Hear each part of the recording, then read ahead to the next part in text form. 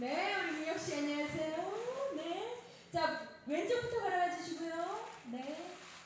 아, 목에 달린 검정 리본이 마치 선물을 연상하는 듯한 우리 몬스타 X 자체가 선물인데 민혁 씨 또한 아주 큰 선물이지요. 네.